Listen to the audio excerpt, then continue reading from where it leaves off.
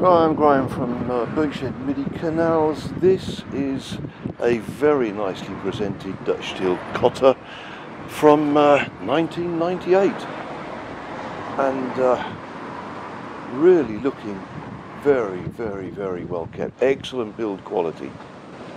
Got um, the reflective covering on the insides of those windows. That film will pull off, but uh, it gives you good privacy and will take the temperature down by a few degrees, keeps the sun out. Notice you've got drop down screens there to reduce your air draft. Solar panel on the roof here.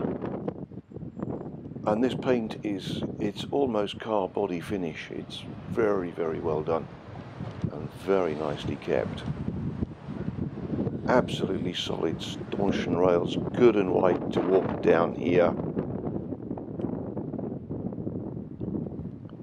Very nicely kept boat. It's got a Cummins 115 horse uh, engine, big six cylinder Cummins.